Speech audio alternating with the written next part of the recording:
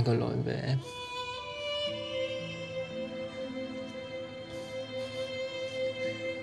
Tha lỗi cho anh nhé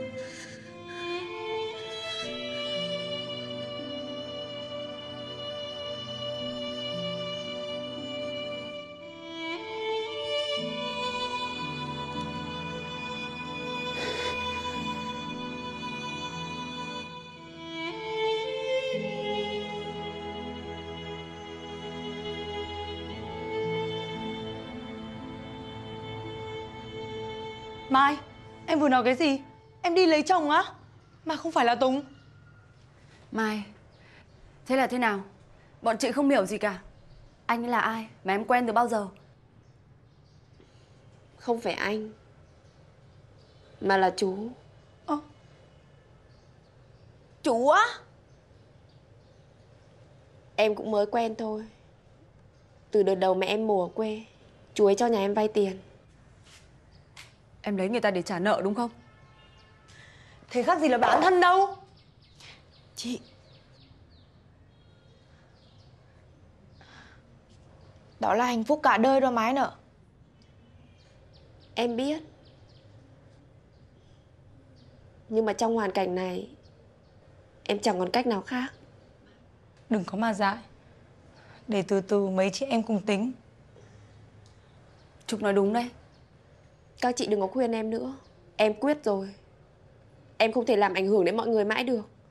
Chuyện lần này Các chị cứ để em tự giải quyết được không? Một tháng hay là ba tháng thì cũng như nhau cả thôi. Em không có khả năng chi trả số tiền đó.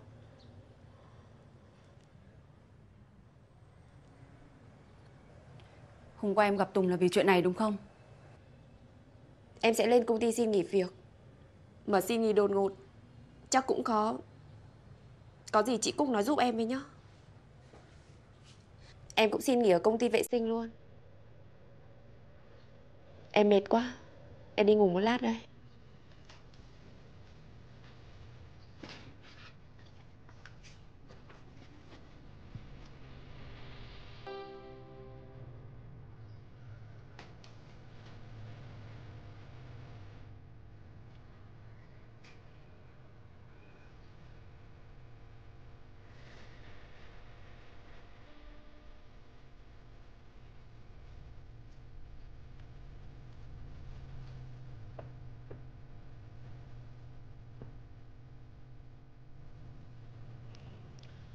Nè, tụi em xem thế nào khuyên nhỏ Mai đi Mấy anh cha già lắm tiền mất nết đó hả Lấy giàu khổ một đời đó Lần đi cái máy có vẻ quyết tâm lắm Nên bọn em cùng nó dám khuyên Thôi, không can được thì mừng cho nó chị ạ. Mấy chị em mình đừng nói ra nói vào nữa. Con bé nó nghe thấy nó lại buồn đấy.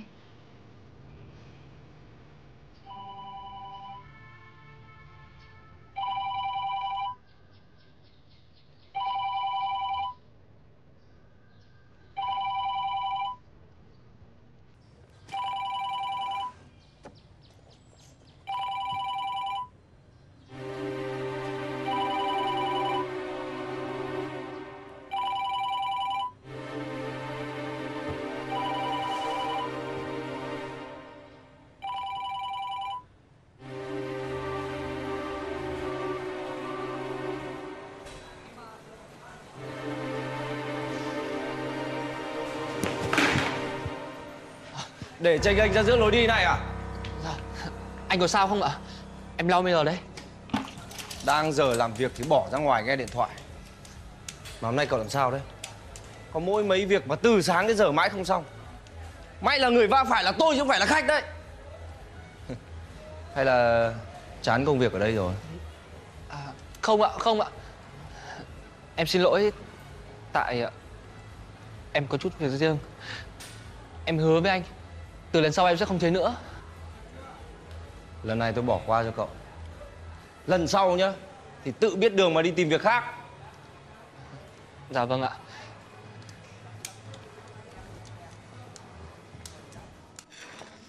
Sao giờ vẫn chưa thấy chị Lành đâu nhở? Trúc gọi một tiếng đi. Chị Lành, chị Lành ơi! Chị đây! Nhanh nhanh lên đi ơi! Đèo vô đây con Hôm nay chị góp chim quay với lại gỏi ghê chưa? Ôi, sáng ý. Xả láng đi. Mà anh Thanh đâu? Sao không gọi sang đây luôn? Ổng đi chở khách rồi Mà thôi kệ ổng. Ổng ở đây á Thì làm sao chị nhậu tới bến được chứ? Trúc, Dạ? nhà mình còn rượu không? À, lần trước vẫn còn một ít, để em ra lấy nhá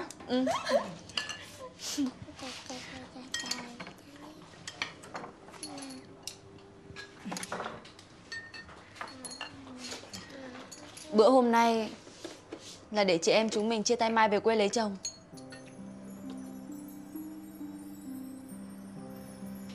Cả Trúc và Lan nữa. Chị luôn mong các em được hạnh phúc. Em không biết phải nói như thế nào Để cảm ơn các chị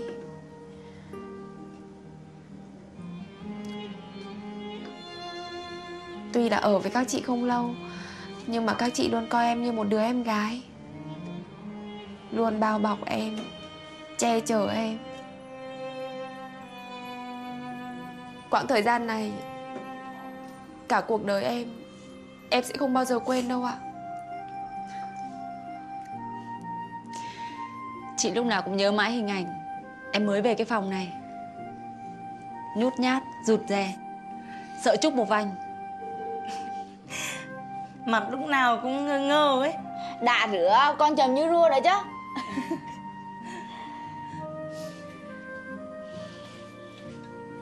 Mai này Em đã trưởng thành hơn rất nhiều. Không phải vì các chị bao bọc em đâu Mà là vì em tự lớn lên đấy. Em còn trẻ Mà những việc em phải trải qua Không phải ai cũng vượt qua được Dù có thế nào. Thì chị cũng mong em gái của chị Lúc nào cũng phải vững vàng. Hiểu chưa? Em cảm ơn chị.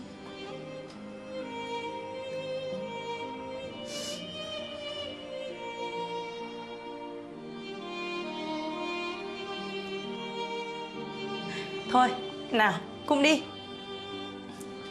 Lâu lâu lâu một lần. À, Đám cưới Nhất định bọn chị sẽ về sự đông đủ. Đúng rồi đó. Vì cái máy là người đầu tiên đổ phát súng của phòng miên mà. À Nếu không kể đến chị Nhung